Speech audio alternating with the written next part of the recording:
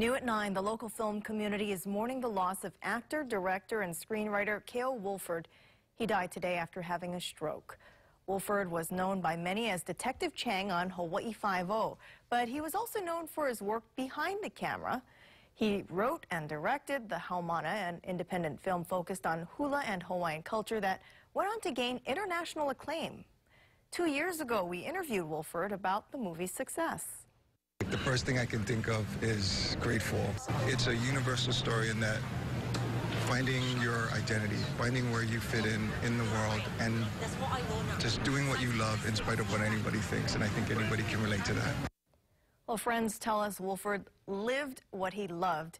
And aside from his work in film, he was recently appointed Kumuhula of Robert Cazimero's Halau Na Kamalei o Lililehua. Memorial services for Woolford have not been announced yet.